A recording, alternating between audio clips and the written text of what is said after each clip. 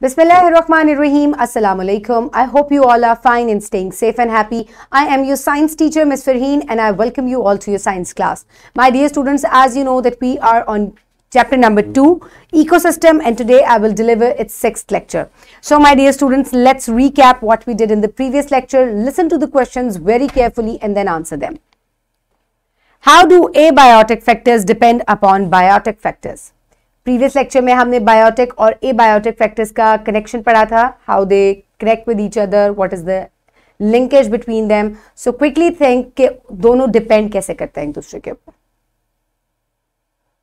Very good now tell me how do biotic factors depend upon abiotic factors अभी हमने biotic factors की dependency पढ़ी थी biotic factors पे। अब लाइफ कैसे डिपेंड करती है? नॉन लिविंग थिंग्स पे यानी कि बायोटिक फैक्टर्स कैसे ए बायोटिक फैक्टर्स पे डिपेंड करते हैं quickly think and tell me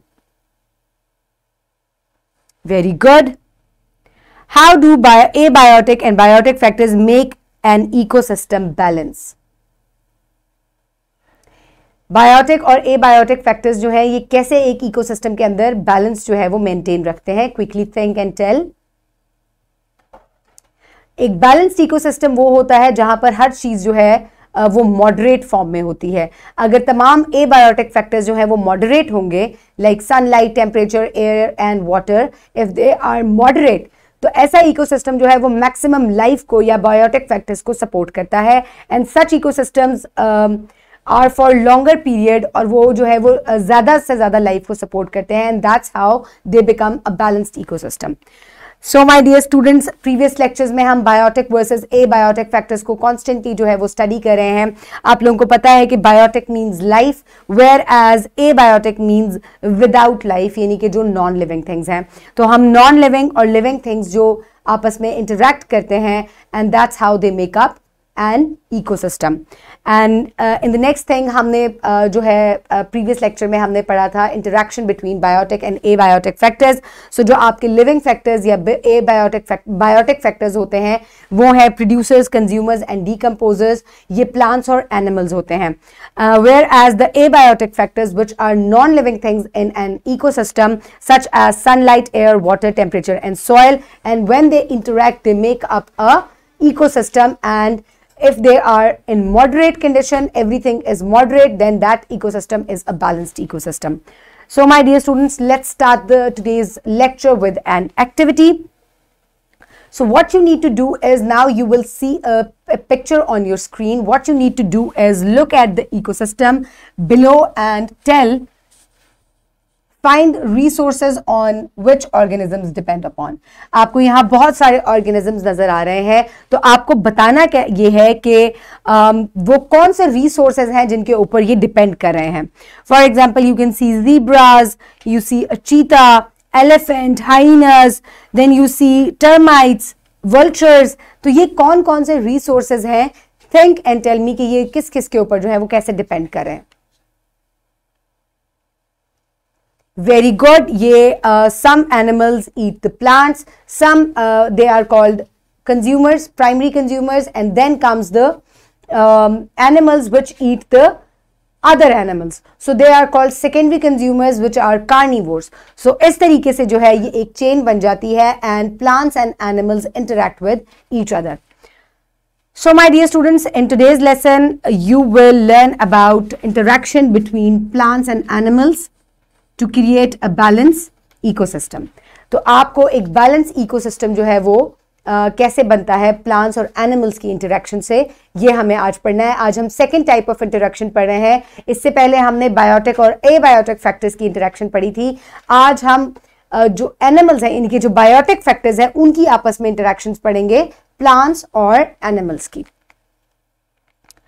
So my dear students plants जो हैं उनको खाते हैं एनिमल्स इन रिटर्न एनिमल्स जो है, वो कार्बन डाइऑक्साइड रिलीज़ करते हैं, जो कि प्लांट्स को ब्रीदिंग के लिए ज़रूरत होती है।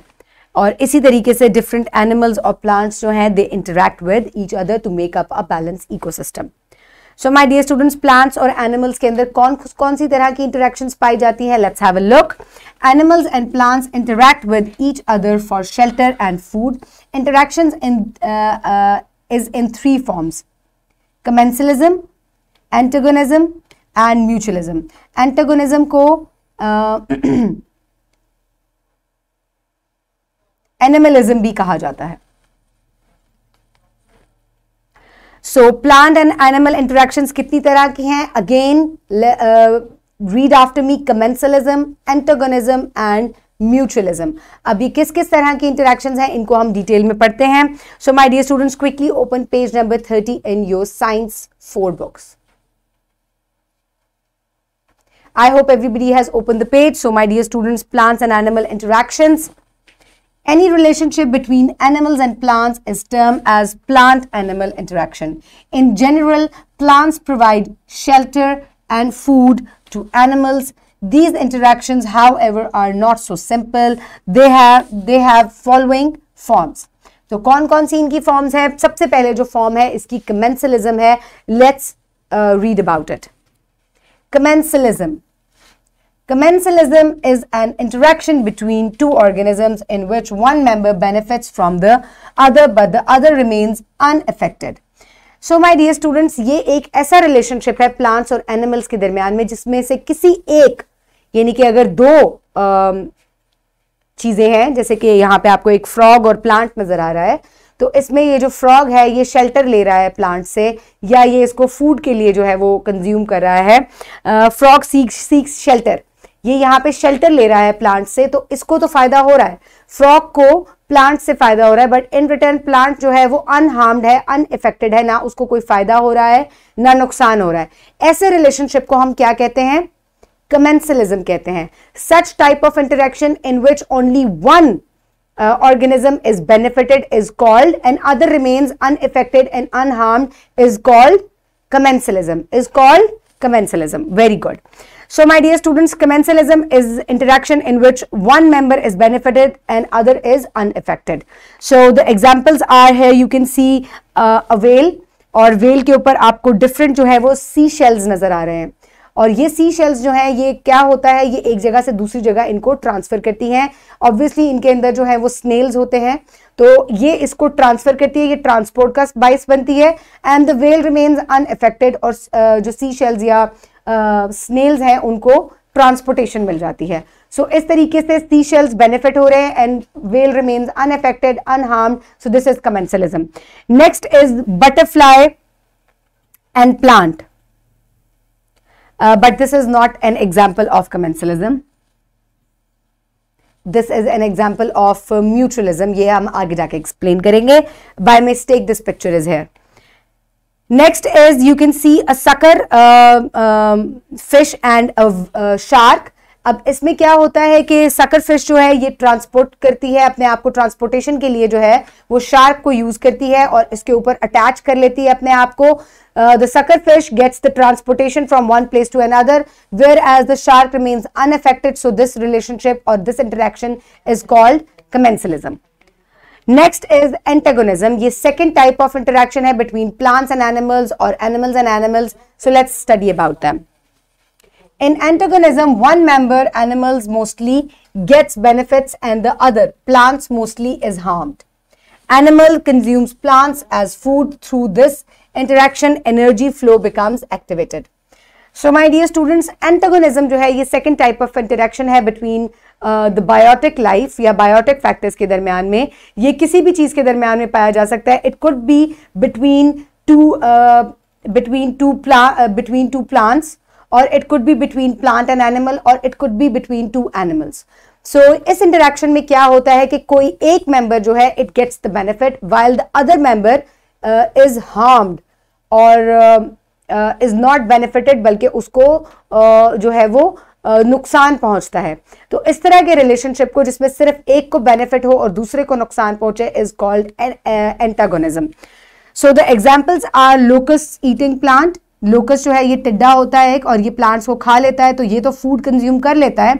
एनर्जी इसको मिल जाती है, लेकिन ये प्लांट्स को, उनकी हेल्थ को खराब करके उनको डिस्ट्रॉय कर देता है। So such type of interaction is called antagonism flea beetles eat leaves making holes in them अब फ्ली बीटल जो है for their food they consume the plant leaves और इस तरीके से ये प्लांट लीव्स जो है, उनको डिस्ट्रॉय करते हैं प्लांट्स को खराब कर देते हैं, उनकी हेल्थ को खराब करते हैं whereas they get the benefit यानी कि उनको फ़ूड मिल जाता है।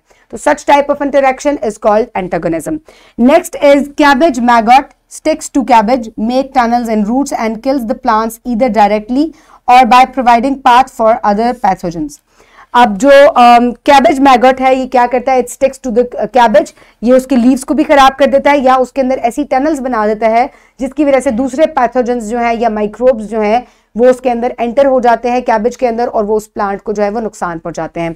तो है यू कैन सी के जो मैगट है उसको तो फ़ायदा हो रहा है उसको वो uh, uh, के तौर पे वो इस्तेमाल कर रहा है whereas the cabbage plant is affected and harmed so such type of interaction again is called antagonism. So let's again uh, have a look at antagonism, interaction in which one member, only one member is benefited while the other is harmed is called antagonism. The example here you can see beetles eating leaves And here you can see एक पूरी picture है जिसके अंदर आपको नज़र आ रहा है कि cows are eating the grass अब cows are benefited because they are eating the grass लेकिन there are small very small insects which live inside the grass अब उनका जो शेल्टर है वो खराब हो जाता है when cows eat the grass और they get directly attack by different birds which feed on the insects तो इस तरीके से ये भी एंटोगनिज्म है only the cows are getting benefit while uh, uh, whereas the insects which are living inside the grass they are uh, harmed so next and last uh, interaction between the biotic factors is called mutualism. Let's discuss about it.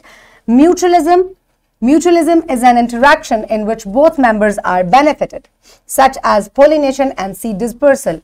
In pollination, animals, insects mostly visit flowers for nectar and pollen.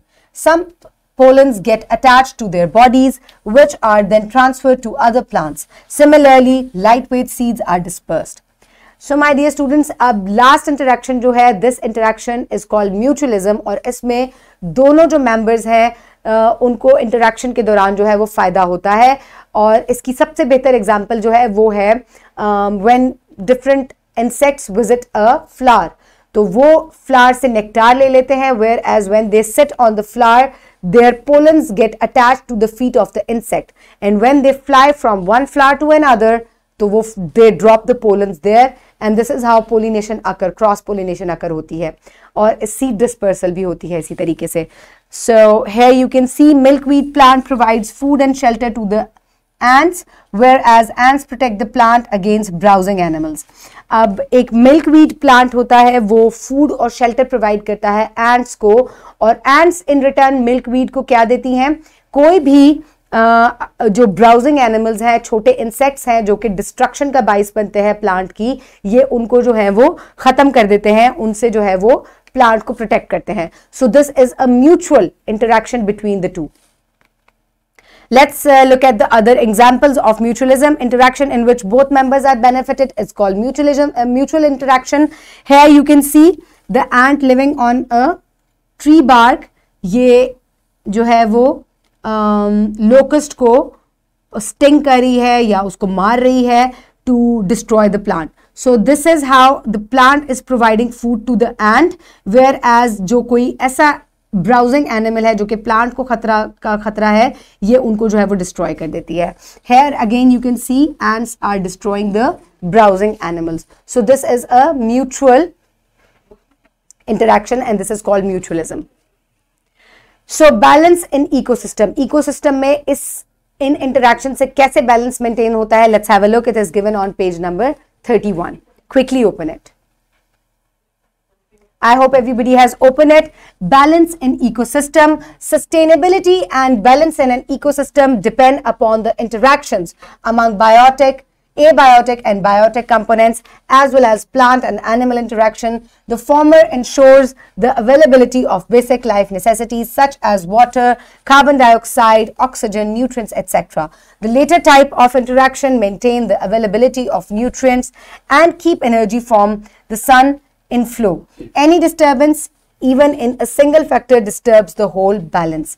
So my dear students, एक ecosystem के balance के लिए तमाम interactions जो हैं वो जो है फ्रूटफुल होती हैं उसके बैलेंस के लिए जैसे कि हमने सबसे पहले इंटरेक्शन पढ़ी थी बायोटिक और ए बायोटिक फैक्टर्स के दरमियान में and today we studied about the interaction between the biotic factors यानी कि प्लांट्स और एनिमल्स के हमने इंटरेक्शंस पढ़ी थी and what are their types how they are fruitful तो इस तरह की जो चीज़ें होती हैं ये इकोसिस्टम के अंदर चीज़ों को मेंटेन रखती हैं और अगर कोई एक भी फैक्टर जो है जिसको आप मिस करेंगे तो इसकी वजह से पूरा इकोसिस्टम जो है वो डिस्टर्ब हो जाएगा so to maintain the balance in an ecosystem all the things are extremely important whether they are non living और living Now it's time for an activity. For activity, teacher will divide the class into three groups and show them two pictures of each. Plant animal interaction and ask them to find out interactions. When they find, ask the questions, ठीक है? तो अब सबसे पहले क्या करना है? Teachers आपने स्टूडेंट्स को थ्री ग्रुप्स में डिवाइड कर दें A B and C pictures मैं आपको स्क्रीन पे अभी दिखाऊँगी and students will find out the interactions group A B C करके मैं सबको कॉल करूँगी and then you have to tell the interactions उसके बाद teacher will ask the following questions who is benefited and who is not in certain relation? Who is harmed and who is unaffected, what type of benefit an organism get by an uh, by a certain interaction. So my dear students, first for group A, only group A students will uh, look at the picture. बाकी सब जो हैं वो देखें इसको दिमाग में सोचें लेकिन only group A students will answer the questions. So सबसे पहले है sucker and fish and shark. So ये कौन सा type of interaction है? Quickly think and tell me. Very good this is commensalism so इसमें किस एनिमल को बेनिफिट हो रहा है और किस एनिमल को बेनिफिट नहीं हो रहा? Yes, the sucker fish is get benefited whereas the shark does not get any benefit तो इसको कोई हार्म हो रहा है? नहीं. It remains unaffected that is why it is commensalism second insect pollinate flowers and get flowers nectar तो अब आप मुझे ये बताएँ कि ये कौन सा टाइप ऑफ़ इंटरेक्शन है? Very good. This is mutualism. So, who is getting benefit here? Plant and insect both are getting benefits. किस type का benefit हो रहा है इनको? The, uh, pla uh, the uh, insect gets the nectar from the flower whereas uh, the insect will drop its uh, the plant's pollen from one place to another so it will uh, be helpful in the pollination so this is how it is mutualism both the um, members are benefited in this situation. Now is the turn of group B. Only group B students will uh, look at the pictures and they will answer whereas other groups will remain silent. So first part is there is a bull, bull that you can see and a, a bird is sitting on it. This type of interaction is commensalism. Very good. In this, uh, कौन किसको benefit हो रहा है यहाँ Yes, the bird gets the benefit. Very good. If you will see this is also mutualism मैं आपको explain करती हूँ ये कैसे म्यूचुअलिज्म है. Uh, एक बुल जो होता है उसके ऊपर जब बर्ड्स आकर बैठते हैं तो अक्सर जो एनिमल्स होते हैं उनके ऊपर वेरी स्मॉल इंसेक्ट्स होते हैं जो कि उनको स्टिंग करते हैं या तंग करते हैं इच करते हैं उनको. तो they eat from those insects और whereas he will transport it from one place to another so both gets the benefit and this is also mutualism और अगर आप इसको एक परस्पेक्टिव से देखें तो ये कमेंसलिज्म भी है second picture is the elephants which are moving in the grass so there are different insects also there so which type of interaction is this very good this is antagonism why this is antagonism because the small insects they get uh, under this um, ये step कर देते हैं and uh, जो elephants हैं उनके ऊपर step करते हैं तो दे गेट हार्म उनको uh, जो है वो नुकसान पहुँचता है जिसकी वजह से जो है only one animal is benefited है which is elephants which take the benefit from by eating the grass so this is antagonism. Very good. Next is for group C. Here you can see the plant provides food and shelter to the ants and the ants defend the plant against browsing animals. So which type of interaction is this? Very good. This is mutualism because both the animal and plants are benefited. Second, strong animals preying on weaker animals. So which type of interaction is this between two animals hai this is antagonism obviously because the stronger animal like hyena or cheetahs they get the benefit. They eat the animal whereas the weaker animal is harmed. Usko khana nahi milega. So this is an antagonism so, my dear students, this is it for group C. Now, we will move forward towards the practice. For practice, my dear students, you can download this worksheet from the description box below this video or you can get it in print form by your teacher. So, my dear students, aapko karna kya hai? Write down your name and your roll number here. And there are some pictures given here. Observe the given relationship between plant and flea beetle. Comment whether the relationship is fruitful or for the ecosystem or it make it imbalanced. So my dear student, there is a flea beetle which is feeding on the plant and making holes in the leaf. And what is this? Antagonism. So will it be helpful for the um, uh, ecosystem? No, because only one animal is getting the benefit while the other is harmed. Very good. Describe the role of given interaction to make an ecosystem balanced. So here you can see um, a honeybee is sitting on the top of a flower and sucking the nectar. So which type of interaction is this? Mutualism it is and how it is a balanced, how it will balance the ecosystem because both the organisms are benefited here. So that is how you will complete the worksheet, submit it to your teacher and we will move forward towards your homework. Quickly note down your homework. Question number 3 from section C is your homework. Describe the role of plant, animal and biotic and abiotic interactions in the balanced ecosystem. We have already done biotic and abiotic interaction. Today you will describe the role of plant and animal interaction in an balanced ecosystem. Do it in detail. तीनों जो interactions हैं आप उनको detail में लिखेंगे. Also give examples for this. You will do it in your homework. You can also take help from your book. And what have we learned today? Today we discussed about any relationship between plant and animal is termed as plant-animal interaction. In commensalism, one member gets benefit and the other remains unaffected. In antagonism, one member gets the benefit and the other is harmed. In mutualism, both members get the benefit. So these are the three types of interaction between the uh, animals or plants or plants and plants or animals and animals. So my dear students, I hope you have enjoyed the lecture. In the next lecture, we will discuss about the food chain, predator and prey relationship. So until then, stay tuned. Keep everybody around you safe. Have a good day. Thank you so much and Allah Hafiz.